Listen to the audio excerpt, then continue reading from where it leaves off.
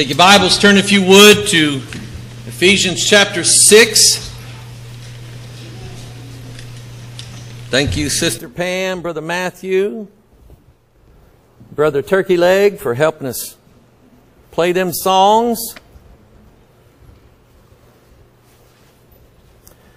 Let me ask you a question this morning, and, and, and if you want to raise your hand and say something, you more than you are more than welcome to. I could just go around the room and and ask you this question: What are you most what are you most afraid of?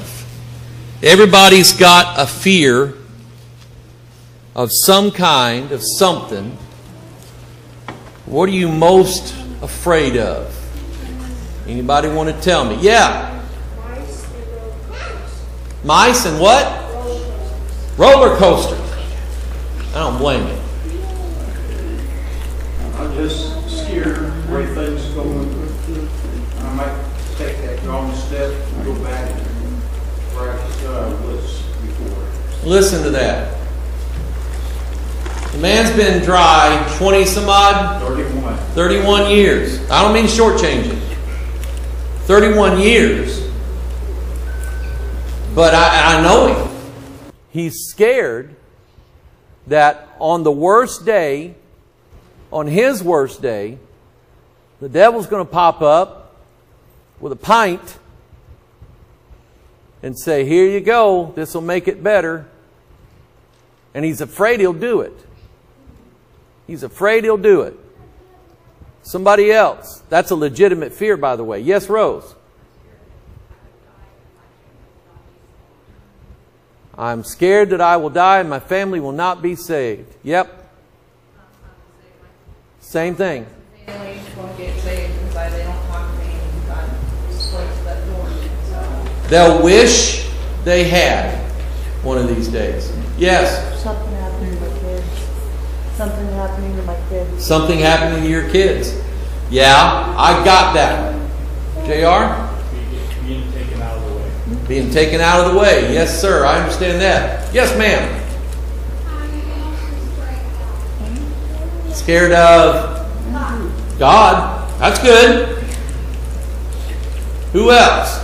How come nobody on this side scared of anything? We got all the scaredy cats over here? I uh, will be reading the Bible a lot. And, things that God did, man, I've lived it myself. Oh boy, I, I don't want to go to hell. The things that God did when he's when he's mad, like the ground opening up and swallowing 250 people and then closing back. Like a reminder, and then I get like Brendan today because I have a fear of going. Yeah, I do not want to do it. I fear that I will do something wrong. A fear of going to hell. Yes, ma'am. Yes, sir. Yes, Sister Betty. Same one. Fear of going to hell. And oh, I'm with you. Aren't you glad this is not East Tennessee? We don't handle snakes in our church. Amen. Yes, Liam. Bees. I am too. I don't like them. Because I think that they're going to sting me and immediately let I go close. Oh yeah. When Matthew was little, I always tell you, you know, we'd see wasps around, and I'd say, "Now, Matthew, just stay away from them. They won't bother you if you don't mess with them." Well, we was outside one time, and he went under the porch to get a ball or something like that, and I mean, they hit him about four times on the back, and he come out mad. I didn't mess with him. He was furious. David. Mainly my role as a spiritual head of my family. Yes, sir. Yes, Chris. I'm just worried that the way things are going in this country, it's a lot like Nazi Germany started, and it's kind of happening here, and I sure hate to see it happen. There is, it is a legitimate fear that I think probably most, if not all of us have, that we're going to lose the freedoms, the liberties that we have, and they will turn against us. If you, one of the reasons I study World War II is I want to, I want to get in the mindset, number one, of the German people and the Japanese people, why they would blindly follow their such cruel intentions. in Japan, it, they didn't see it so much. Everybody in Japan is Japanese, and they revere their own kind. Anybody who's not Japanese is of lower value to them, and there are not too many foreigners in Japan. To this day, they don't let people in. They just don't let too many people come and stay in their country. They're Japanese only, and they keep it that way. But here you've got Germany.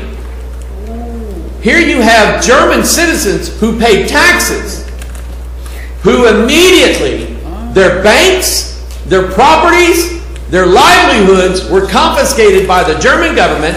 They were declassified as citizens. And the next thing you know, they're being rounded up and put on rail cars, spending four days in a rail car with no food, no water, only be taken off the rail car and put right into a gas chamber. The soldiers and the people of Germany went along with that willingly. And any of them who say, well, we didn't know what was going on, for the most part, that's not true. Told to do this and they did it. They followed that blindly. And I am, I am serious to say that we are in a country right now that does not see the Christian in this country as a moral benefit. They see us as being in their way to stop them from sinning as much as they want to. And that's how it is. So I'm, I'm right there with you. There's a lot of things that, that I fear, things that I get afraid of. And as I've told you many times before, the older I get, the more fear I get in me. And some days, I'm just, I am no good. I am absolutely no good. I can't, I can't do my work. I can't, I can't do much of anything. I am just bound by fear. The devil, I'm sorry to say, but the devil has stuff on me like he does on you. He was there when you did stuff you don't want anybody else to know. He talked you into it. One of the tools that he has against us is binding us in that fear that our past will catch up to us. You know, they when they captured Adolf Eichmann, he was one of the he was one of the ringleaders of killing the Jews that actually got away.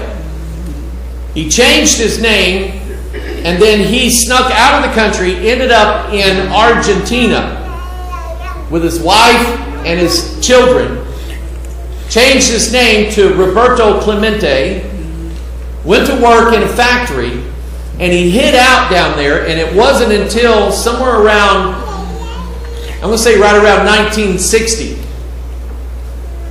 that the Jews got wind that he was over there, and they sent Mossad agents over there to capture him and bring him back. But that man spent every day of his life looking behind his shoulder to see who was following him. Every day of his life, he was scared to death that they were going to capture him. And he knew. You gotta, you gotta follow the story. You gotta go read this story. He knew that when this guy passed him on the road that night, that the man wasn't Argentinian. He knew something was up. Because as soon as he turned around and he saw that guy, he started screaming to the top of his lungs. And that Mossad spy grabbed him and put his hand over his mouth.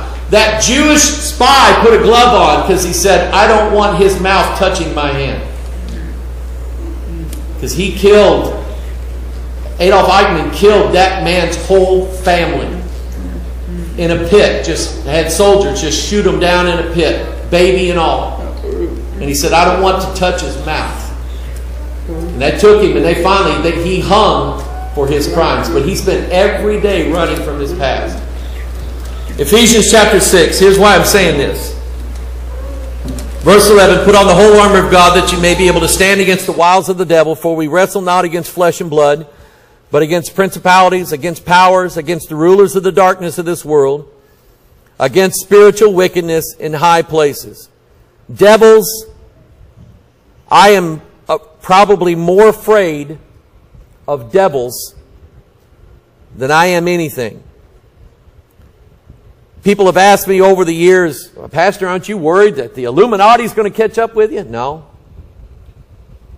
Some, I'll get people on the phone, I'll have them try to tell me, you know, what it is they, that they think, and they say, well, I don't want to say it over the phone. They're listening. I don't care. I, I said, I'm out seven times a week on the internet. I'm pretty sure everything I think is out there. They already know. I said, I'm not worried about that. What I'm scared most of are devils. I've experienced them firsthand. Having them filled me with so much fear and terror that twice now, being in Kenya, I tried to get out of there as fast as I could. Twice, going to Kenya twice, Michael will tell you that I, I couldn't stand it. I wanted to leave that place and get home and get away from there. They would not stop terrorizing me.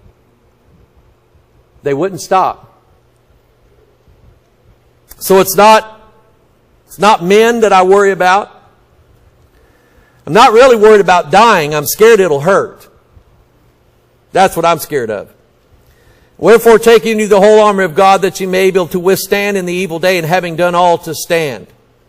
Stand therefore having your loins girt about with truth, having on the breastplate of righteousness and your feet shod with the preparation of the gospel of peace.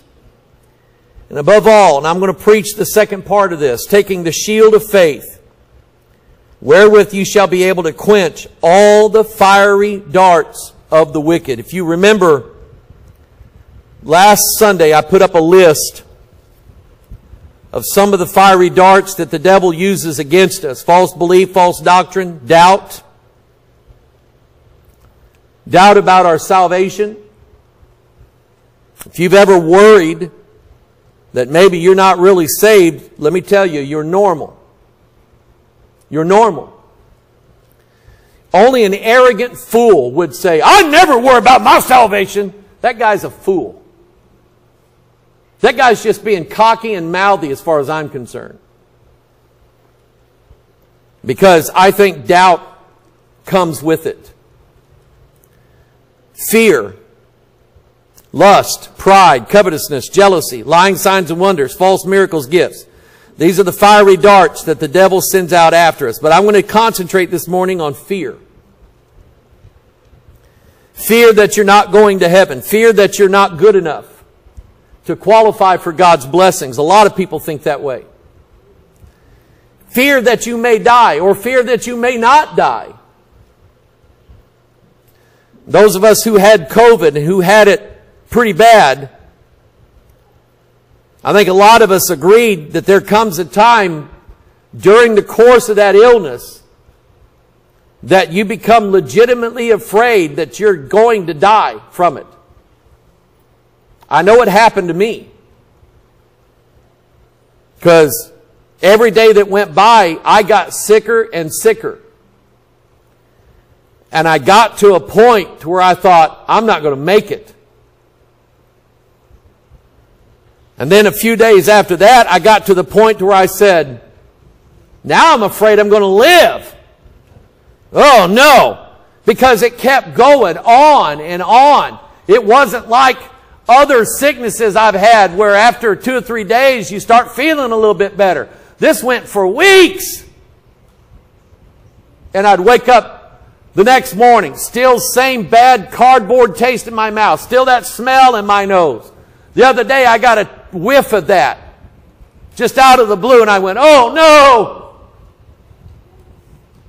But afraid, being in fear. When I'm being electrocuted under my house, I was afraid. I, I was afraid. I was not in pain because I had told myself, Mike, you're fixing to go stand before God. And I got afraid. Because now I'm fixing to go stand before my Creator who knows everything I've ever done. And the last prayer that I thought I was going to pray in this world was, God, please have mercy on me. Why? Because I'm like you, John. I don't want to go to hell. That scares me. That scares me. Let's go to the Lord in prayer and ask God to help you this morning with fears. We are, we are, we were placed into a weakened, lowly form for a reason.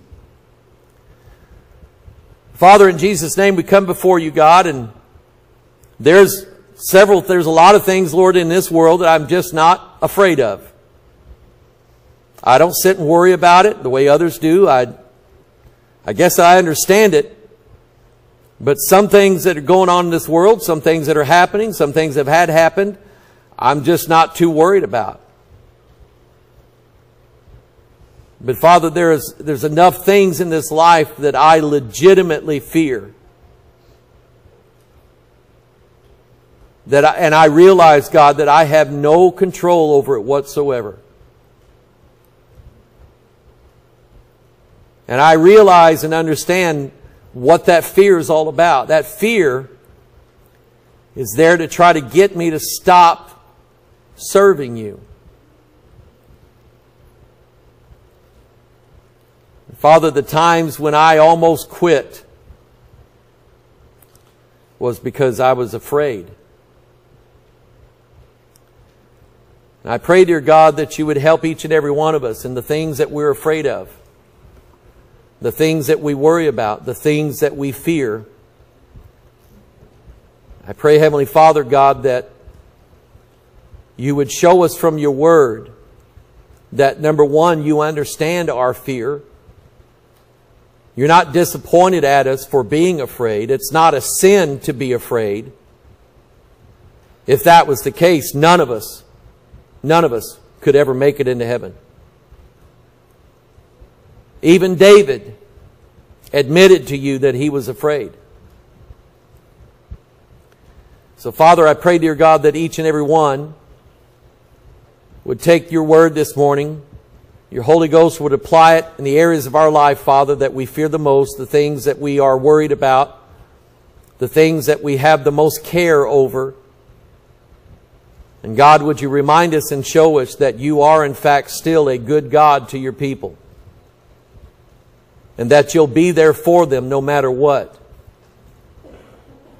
So, Father, I ask, dear God, that you just help us, Father. Fill our hearts and our minds with your Spirit and with your Word. And show us, Father, that when it comes to you and your ability to save us, that we can put our trust in you. That we can lean on you. Because, Father, you'll take everything else away so that we don't have a choice.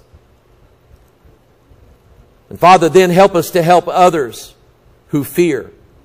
Help us to help others who are afraid because we ourselves were. And to give them that same comfort that we were comforted with. ask your blessings on the word. Help me to preach it this morning. We pray in Jesus' name. And all of God's people said. Turn to Matthew chapter 14. While you're turning there, I remember there was a man, a young man that I grew up with here in this church. I liked him. We'd always done a couple things in church together. I remember we went out door knocking one time on a Saturday, just driving around inviting people to church. His mom and dad were members here. And we, um, after they moved, they, we kind of parted company. And for years, I didn't know where he was. I didn't know what he was doing or anything like that. But one day, the Lord laid it on my heart to go see him. I didn't even know he was in town. And I, I went and asked Rose, I said, Rose, you know where so-and-so lives? And she said, yeah. She told me. I said, you mean he's here in town? She said, yeah. So I remember I took Brother Sterling over to his house. I've told part of this story before, but We visited for a while and I could just tell the devil had his grips on him. I mentioned before, but he was carving into wood. He had, would picked up a knife and was just carving into this piece of wood. And he said, I got talents I didn't know I had. And he was wood carving. And he showed me this piece, piece of wood, this flat wood, and he had carved this eerie, ghostly image into this board. And he said, I keep seeing this. When I close my eyes, I keep seeing it. And I said, I can carve it out. I mean, it had just long robes that looked like bat wings on it and everything like that. But he mentioned, he said, I can't see the face.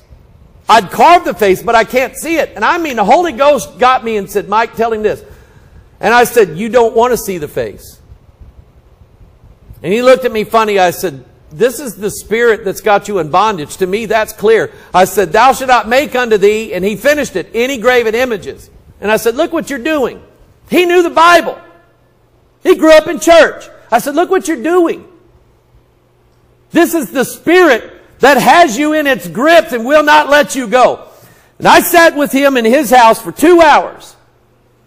And I gave him every verse of scripture. I tried every way in the world to talk to him, to get him back in church, get him right with God. And you know what he said? Mike, I'm afraid. I said, what are you afraid of? He said, I've been in church, out of church, in church, out of church so often. And he said, I get in there and get serving for a while. The devil grabbed me and start pulling me back with old things and the old life. And he said, I've done it so many times. He said, I'm afraid to go back again. Because I don't think I'll be able to do it. I'll be right back out again. And he had to get up and run to the restroom real quick. And I said, God, get me something to say to him that'll, that'll hit him, that, that he won't be able to argue with. Because he had argued with everything I said. And when he came back and sat down, I said something to him, and I mean, it hit him. And he said, he stopped right just like this. And he said, oh, wow. I have nothing to say against that. And I said, well, I want you to come to church Sunday. Well, he, that was a Thursday. He called me Saturday. And he said, I'll be there tomorrow. He said, God's already got a hold of me. And he said, I've been on my face crying before God. And he said, I've asked God to forgive me of all my sins. And I told God, God, I can't live this life. I can't do it. You'll have to do it in me and you'll have to do it for me. And he came that next day and came down to this altar and we prayed for him. Went out and cut that big long ponytail he had off. Just cut it off. Now I'm going, yeah, that's God. I mean, God just got all over him. One of the devil's greatest tools against us is fear. Somebody mentioned fear of the past. Fear that the devil will bring back into your life some of your old buddies. Your buddies that you used to drink with, smoke with, do drugs with, chase women with, or chase guys, whatever your thing is. Your fear is that they will come back into your life and you have no power against that. You, that's why you stayed away from them. But the devil just pulls them out, out of a hat and pulls them back into your life and as soon as he does, you just seem to fall right back into that old stuff again, and you've got no power against it. Somebody got in touch with us here not too long ago asking a question about certain lifestyles. And it happens to be a lifestyle that they're living in right now. Wanting to know if it was wrong. They know what's wrong. They know it's wrong. And every day that they're living in that lifestyle, there is always a certain amount of fear. What if Jesus came back today, found me living like this?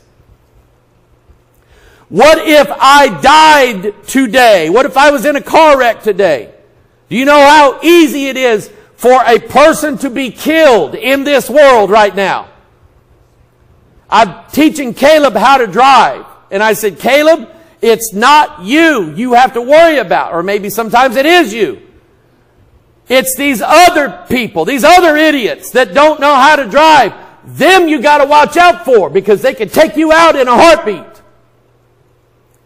And I would say to anybody today that you don't know where you stand with God, you don't know if you're living for God or not, you don't know if your sins have been forgiven. It's been a long time since you talked to God. It's been a long time since you confessed anything. It's been a long time since you read your Bible or visited with God in your private prayer closet. And you're afraid that your lifestyle right now is going to catch up with you and God's going to come and get you. If you're that way, you do should, you should be afraid. I never forget September 11th, 2001. Young lady called me and was talking about, is this the end of the world? And I said, no, it's not the end of the world, but I said, I'm going to preach on it tomorrow night. And she's, well, I'm afraid. I said, you should be afraid.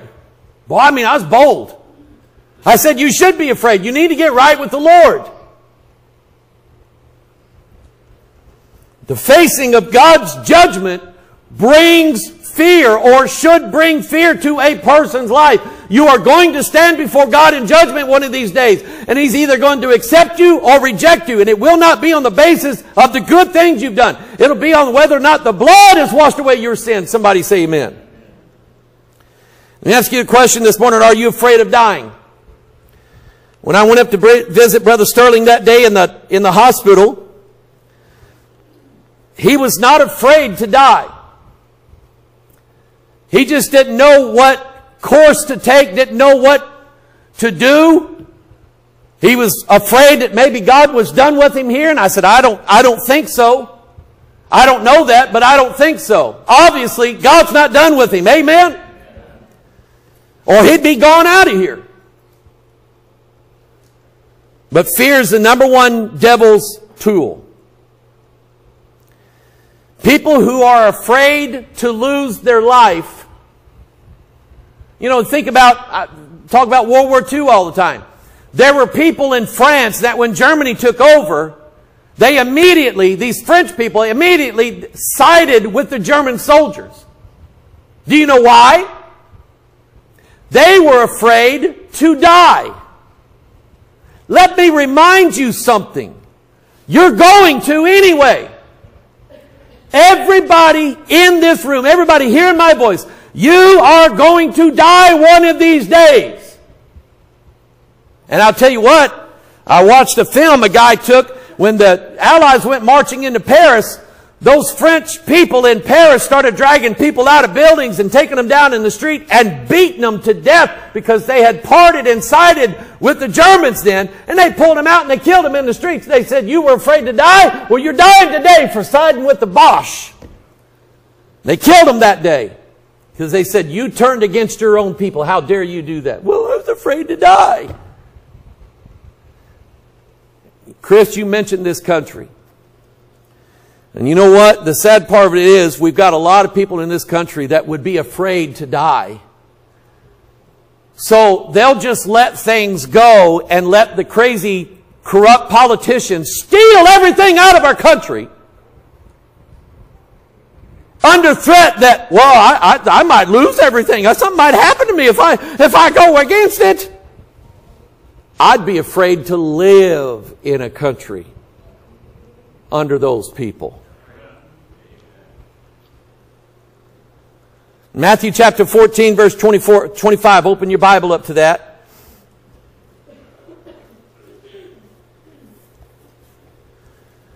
One of the questions I want to ask you is, do you know where you're going when you die? Do you know beyond a shadow of a doubt that you are going to heaven when you die?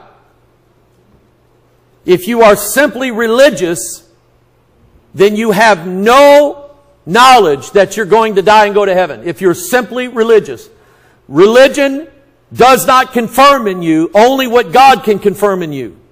That you are His child, His people, and that eternal life is your home in heaven with God forever. But if you're simply religious, you will never have that knowledge in your heart. You'll be somebody that is afraid to die. In the fourth watch of the night, Jesus went unto them, walking on the sea. Can you imagine that? A man walking on the water. And when the disciples saw him walking on the sea, they were troubled, saying what? It is a spirit. They thought it was a ghost. And as I mentioned before, that scares me. Haints, spirits, ghosts, devils, they scare me. That first time I went to Kenya, I had them all over me. And they had me so scared, Sterling, and so much in fright, laying in that bed, I kept hearing them saying, Get out. Get out. You don't belong here. You're in danger. Get out. And I listened to that for hours laying in that bed that night. And I almost got up in panic and grabbed my wife and said, We got to get to the airport. I almost did. Then a couple years later, we're out in, um, what was that, Maguri? First night out there. Michael, get me on a plane out of here. Get me on a plane. Michael, find a plane, get me out of here. I got to get back home. And Michael was looking up flights. And finally, somebody said something, one of the preachers said something, and immediately I went, oh, I know what this is. But I had devils who were growling at me, telling me not to preach out there. And it almost worked. I found something out this week, I'm going to show you here in a minute. When the disciples saw him walk on the sea, they were troubled, saying, It is a spirit, and they cried out for fear. But straightway Jesus said unto them, or spake unto them, saying, Be of good cheer. What are you, crazy, Jesus? Be of good cheer, it is I, be not afraid. And Peter answered him and said, Lord, if it be thou, bid me come unto thee on the water. And he said, Come. And when Peter was come down out of the ship, he walked on the water to go to Jesus. That would be so neat.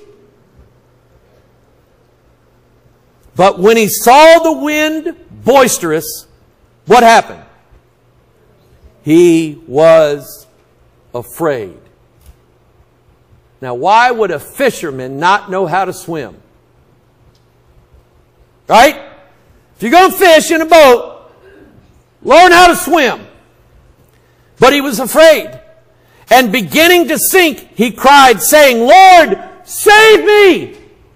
And immediately Jesus stretched forth his hand and caught him and said unto him, O thou of little faith, wherefore didst thou doubt? Now what are we talking about? We're talking about the shield of what?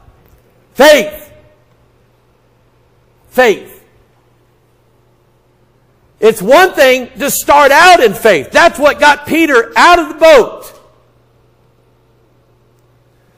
But we're talking about not just starting in faith, we're talking about continuing in faith. If Peter had not been afraid and had he not doubted, he would have made it all the way over to Jesus and wouldn't have had a problem, would he? But he saw the wind, he got afraid, and as he got afraid, he began to sink and he cries out, Jesus, save me! And did Jesus laugh? Did he say, I ain't saving you. Save yourself. He stuck his hand out, reached in, pulled him out of the water. Oh, Peter. Oh, thou of little faith, wherefore didst thou doubt? Had he just kept believing, this would be one of those things where I'd have to close my eyes and walk. Amen? And does not God teach us to do that anyway? For we walk by faith and not by. Sometimes, and you listen to this, sometimes you need to shut your eyes to what's going on in this world and just think, God's still good, God's still saving me, God's going to hold on to me, and I will not worry about what's going on. Chris, I'll tell you what I did. And I mean it. I went down to Pea Ridge, Arkansas, and I preached this, and I've come back. And very seldom now, very seldom, I won't say I never do it, very seldom do I turn the news on and watch it. I did turn something on just long enough to watch Joe Biden fall down the steps three times. That was worth it. There's a video on now. I think Jim sent it to me. It's of Trump throwing Trump hats and they're hitting Biden. It's, that's what's knocking him down. I'm going, that's pretty good. I quit going to the news websites. I quit watching the news. So, well, you don't know what's going on in the world. I do too. I know exactly what's going on in the world. I quit watching that stuff because it was filling my heart full of fear. And you know what it had me wanting? Well, maybe we just ought to let them just take over the country. I don't want that. I either want Trump or somebody way better than him to run the next time and beat these guys and put this country back where it belongs on the right track. That's what I really want. But you see this stuff about all oh, the FBI is looking for people who are who are favoring Trump or the FBI is looking for all these people that that you know are right-wing extremists and the, they're going to make a database of all the guns and they're going to come after them and they're, they're going to do this and they're going to do that. And that stuff just I'm just get scared of that stuff. So it's best for me I just shut it off. And I'd rather walk blind and ignorant in this, in this world and believe what God said than to have my mind full of fear every single day because of that junk. I'm telling you, the devil's greatest tool is this, and it's going to, it is going to be this. After, let's say at some point, they do start persecuting conservatives, right wings, fundamentalists, Bible believers, arresting them, shutting down their churches, shooting them. That'll send a message to the rest of the country saying, you don't want to be like them, do you? And that'll work. Because I guarantee you, most people will seek to preserve their own life here in this world, not realizing that they are still going to die. Only now they're going to die in bondage and not die as free men. And the devil will use that on you to scare you and say, Oh, we're going to take away everything you have and you're going to lose everything and we're going to kill all your family. Who mentioned they're afraid of losing their family? That's me. And I'll tell you, Pam, what God did for me one day. Turn to Mark chapter 4. The day after my granddaughter died. The day before her funeral. I was in a very, very sullen, very angry, bitter mood. And I came home. I went down in the woods took an axe and just started taking this out on a tree. And I'm not going to say everything that happened during that time down there, but by the time I was done, I was telling God, God, you can have her and every member of my family so long as you keep them in your bosom.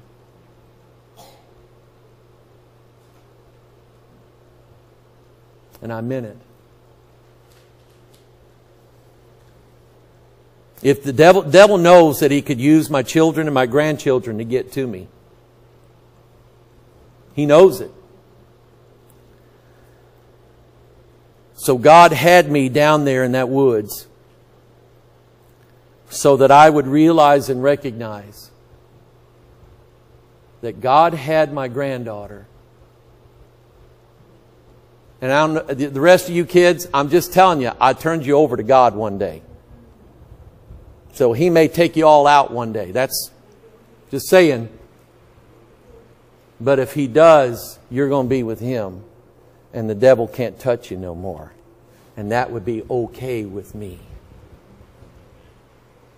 because I don't want to lose my family either. And if they all go to heaven, I won't. Mark chapter 4, verse 30, 37. Are you there? There arose a great storm of wind, and the waves beat into the ship, so that it was now full. I want you to understand waves. In a storm, there's not just one big wave. They just keep coming and they keep coming and they keep coming and they never seem to never stop. It's one wave after another. And I want you to pay attention to that word wave. And the waves beat into the ship so that it was now full. And he was into the hinder part of the ship, Christ was, asleep on a pillow. And they awake him and say unto him, Master, and Reg Kelly said, this is the stupidest question in the whole Bible. Master, carest thou not that we perish? Of course he does. He's the one that came from heaven, came down here to the earth to die on a cross, to be beaten, to be scourged, to be, I, listen, I did a, I did a thing this week on crucifixion. Do you know what it, you know how it kills people? It strangles them. You know how long it takes? Hours. Christ agonized on the cross, struggling to breathe. For hours he did that. And he did it for who? Us. Of course he cares whether or not we perish. Somebody say amen. Master, carest thou not that we perish? And he arose and rebuked the wind and said unto the sea, Peace, be still. And the wind ceased, and there was a great calm. And he said unto them, Why are ye so fearful? How is it that you have no faith? Now let me say something. All of these, all of these doomsday conspiracy websites on the internet.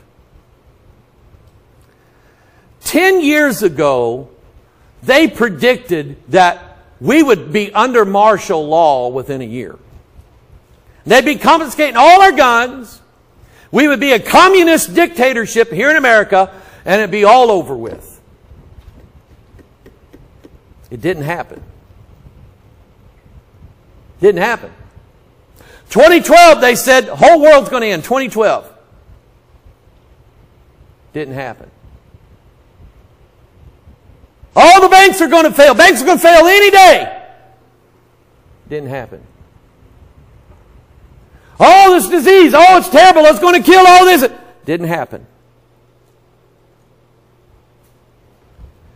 And I'm getting about sick and tired of reading the doomsday liars who are trying to tell everybody every day, oh, this is bad, oh, it's terrible, oh, this is all this going on, we need to do this, we need to do that.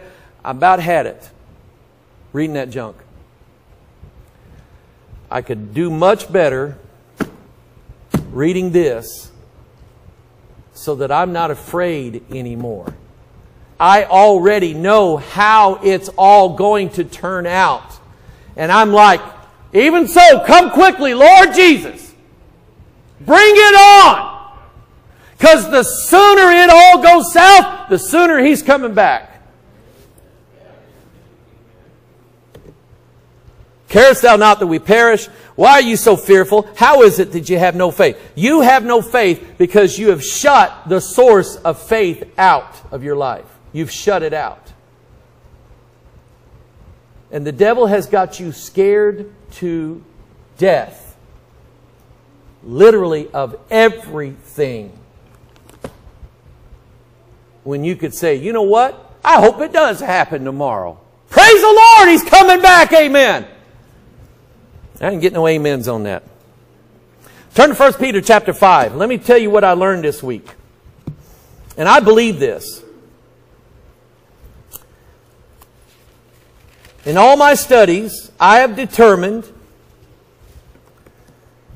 that I would say most, if not practically all devils are beasts. And I could point to places in the Bible and show you that. And I've, I found out something I, that I remembered from when I was a boy in, in, in school. I'd learned this in school. That certain low tones can induce fear in an animal or a person. Tones that we cannot hear with our ears, yet if they are emitted, they all of a sudden just strike terror in us. My wife knows, I've told her, I've told some of you. I'd just be sitting minding my own business, just nothing, and all of a sudden, fear wells up in me. And I mean terror. And I'm going, where is this coming from? I mean, I'm, I wasn't doing anything. I wasn't like thinking of something or something like, and it just all of a sudden, I mean, I'm just sick with terror, fear. Then that turns to anxiety. Anybody ever had an anxiety attack? Those are not fun because you literally flip out of your head thinking you're going to die at any moment. I've had them. And I'm just going, where is that coming from? At least it'd say, what's going on? Nothing. Well, what are you afraid of? I don't know. But then your mind starts thinking up stuff to be afraid of. And you're afraid of this and you're afraid of that. And it's stuff that is in the future. You, and how, how many of you can tell the future? You know what the future is going to happen. You know what's going to happen five minutes from now. None of us. None of us. But here's what I think. Researchers have determined certain, certain low, powerful frequencies can induce in an animal or a human intense fear and terror. The low growl of the tiger. You ever heard a tiger growl? It's very low and guttural. Produces terror in his victims or on their prey, forcing them out of their cover. A lion will roar a low roar and it can be carried for miles throughout the, the forest. And that's a sign to everything that's within hearing distance that there's a lion here and this area belongs to him and you better not let him see you or he'll kill you. And I believe, and you write this down somewhere. You, you remember that I said this. I believe devils can do that to us. I do. You say, well, I'm saved. Doesn't matter. I believe devils can growl and make you afraid literally of nothing. But I will tell you this it would be a sure sign that they're there in the room.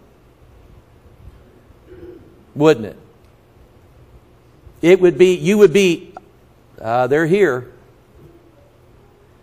I have experienced it. I have felt it. Almost to the point of just being out of my mind. My wife has seen it in me. And I've also, when God was ready to drive them away, I could immediately feel that they were gone. I can't see them, can't hear them, can't smell them. But all of a sudden, just like that, they're gone. I'm, I'm watching you guys. You guys are nodding your heads. You know exactly what I'm talking about. You've experienced it. You've seen it. Now you know what it is. It's some devils growling to make you afraid. 1 Peter 5 8, be sober, be vigilant, because your adversary the devil, as a roaring lion, walketh about seeking whom he may devour. Now think about that for a minute. What I just read was the low growl of the tiger produces terror in his victims or their prey, forcing them out of their cover. So let me ask you this. What is our cover? We're in the sheepfold, aren't we? We're in the sheepfold. and the shepherd is guarding us in the sheepfold. And we are be covered and protected by him, are we not? See, I wrote down here fight or flight. The body has a response. It's called fight or flight. If, let's say, um, let's say something happens and you fall and you break your arm, you don't feel the pain immediately. The body reacts to that by flushing you with something similar to morphine, endorphins. So that for the first few minutes you don't feel any pain. That is the body's way of giving you enough time to either kill what's killing you or run away. Sterling tells this joke. He's only got three jokes, but he tells this one. These are the two boys, and they, they come up some bigger boy, and the bigger boy was going to beat him. And the two boys started running off. Well, the big boy caught the one boy, beat him up. And when he finally caught up with the other boy, the little boy said, Man, I ran as fast as I could. I couldn't get away with him. The other boy said, I didn't run as fast as I could. I ran as fast as I had to. You laugh at that. That's on this only, he's only got three jokes. Laugh at that one. It's called fight or flight.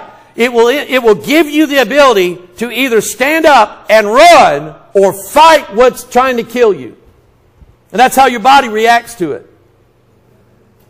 When the devil comes after you, what he's trying to do, he knows that you're hidden. Turn to Psalm 91. You are hiding in Christ. God is protecting you. He knows, and I want you guys to listen to this. He knows that he can't get you while you are being covered by God. Somebody say amen. Psalm 91, He that dwelleth in the secret place of the Most High shall abide under the shadow of the Almighty. I will say of the Lord, He is my refuge and my fortress. My God, in Him will I trust. Surely he shall deliver thee from the snare of the fowler and from the noisome pestilence. He shall cover thee with his feathers, and under his wings shalt thou trust. His truth shall be thy shield and buckler. Thou shalt not be afraid for the terror by night, nor for the arrow that flieth by day, nor for the pestilence that walketh in darkness, nor for the destruction that wasteth at noonday. So, here you are now. You're in church. You're on your knees. You're reading your Bible.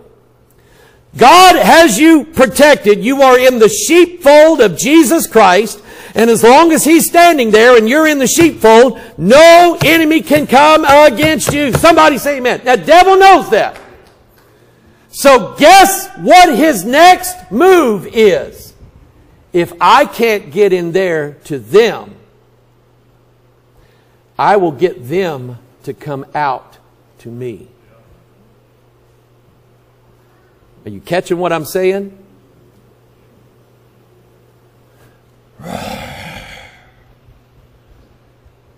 And all of a sudden, he makes you afraid. Afraid that everybody in church will know you're a sinner. Afraid that you had just kind of fell into some temptation and you're afraid people's going to find out about it. That's why that preacher that I told you about, who when he found out the FBI was investigating him for molesting all these boys, went out into a field and blew his brains out. He was afraid that his church was going to find out what had happened, and he didn't want to face it. See, the devil chased him out of the sheepfold. And once he got him out there, he just devoured him. You young people, you're living in the sheepfold now.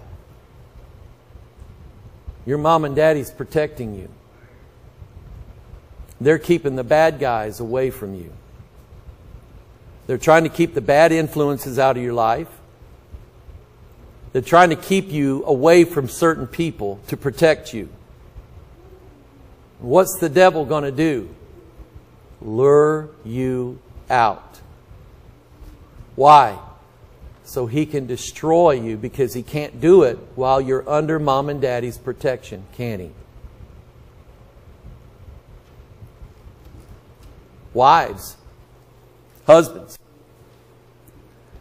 The devil will try to get to the husbands to lure them out because he's standing there protecting his family. And once he's out, the devils move in on the family and destroy them. Am I right? How many, how many single mom families are living in Jefferson County right now? Way too many. It's because the devil lured the man out. So now the wife and child have no protection, and the devil just destroys them. It's best to stay in the sheepfold. Somebody say amen. Now, notice this in your Bible. If you don't think I'm telling you the truth, I believe devils roar and can make us afraid. I know it. I know it beyond a shadow of a doubt. I've had it happen. I know it. Notice this, Psalm 65, 7, which stilleth the noise of the seas, the noise of their waves, and the tumult of the people. Psalm 89, 9, Thou rulest the raging of the sea. When the waves thereof arise, Thou stillest them. Psalm 93, 3, The floods have lifted up, O Lord, the floods have lifted up their voice. The floods have lifted up their waves. Jonah chapter 2, For thou hast cast me into the deep in the midst of the seas, and thy floods compassed me about. All thy billows and all thy waves passed over me. See those waves? Those are low frequencies. Those are things the devil hits us with, Roy, to make us afraid. And if the devil makes you afraid by saying, hey, you're just one step away from getting drunk, you might just say, well, I might as well just go get drunk. See, he'll tell you that's how he thinks. That's how his mind works. The best thing he knows to do is to try to stop that by going to God and getting in the Word and say, God, help me. Because I'm this close to going out and getting drunk. Master, carest thou not that we perish? Of course he does. And he's the one that can make the waves stop. Somebody say amen. Jude 113, raging waves of the sea, foaming out their own shame, wandering stars, to whom is reserved the blackness of darkness forever. This is possibly how devils, I believe probably, how devils invoke fear and anxiety in a believer's life to cause them to flee when none pursue. But I'm telling you, if you stay inside the sheepfold, stay under the protection of God's grace and God's authority, stay under His tent, under His wings, nothing can touch you. Nothing can. And what that takes is we're back now to that shield of faith. If you will trust your God that He will protect you, you do have nothing to worry about. Do you believe that? Do you trust Him? I hope you do. Let's bow our heads.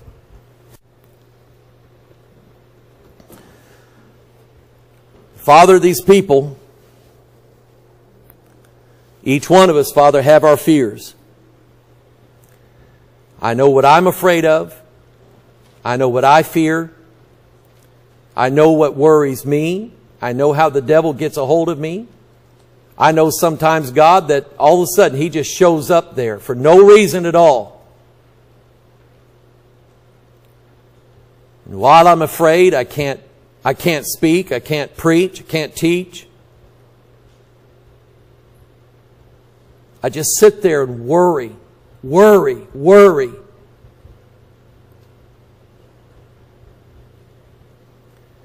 And Father, I thank you, God, that you've been there for me every single time. You've helped me. You've covered me. Father, things that I ran from for years, Father, you've taught me, Father, they weren't chasing me to begin with. I ran when nobody pursued me. I would have run out of the home. I would have run out of this church. I would have run out of the ministry. I would have run out of Kenya had you not helped me. Used my wife to help me. Used this church and these people to help me. To help me stay where I needed to stay and to keep doing what I need to do. Father, I know, God, the devil will use my family, my daughters, my sons, my grandchildren. He'll try to use every one of them, threatening to destroy them, threatening to take them down, threatening to ruin their lives. To the point, God, where I've told them, maybe they need to go on. Maybe they need to get away from daddy. So the devil won't hurt them no more. Father, I'm glad they stuck. And I'm glad that I still have them. But Father, they're yours. And Lord, as long as you take them, I'll never have a problem with it. I'll never be angry with you. Because I know that they're going to be in your care. So, Father, help us to not be afraid or teach us, Father, that what time we are afraid, we can always count on you. Father, we thank you for not giving us a spirit of fear, but of power and of love and of a sound mind. Father, when Michael gets on that plane, I pray, dear God, that you would give him perfect peace. And that, Father, Lord, you would bless the work that he does. It's important work. People's lives are counting on this. Their souls are counting on us. Father, would you give him perfect peace? We know, Father, what the devil's tried to do to him just about every time he's gone to Kenya. I pray, dear God, Father, that you would just give him peace in his heart. Keep him safe. Bring him back here. But Father, Lord, use the work that he does to further your kingdom and your glory's sake and your name's sake. If, Father, one soul in Kenya is saved, if one family's fed, Lord, it'll be worth it. And each one of us, Father, as we go about bearing our cross, help us, dear Father, to walk by our faith and not the dangers that we see, we see or pretend to see around us. Help us, Father, to lean not to our own understanding, but in all our ways acknowledge you so you will direct our paths. You said you would keep him in perfect peace, whose mind is stayed on thee. Father, help us to have a mind that trusts you. All the way to the lion's den, we trust you. Protect us like you did Noah. Protect us like you did Lot. Protect us like you did David. Protect us like you did Daniel. Protect us like you did Paul from the shipwreck. Protect us until the day you call us home, Father, and help us to never be afraid anymore but to only trust you. We pray this in Jesus' name, and all of God's people said, Amen.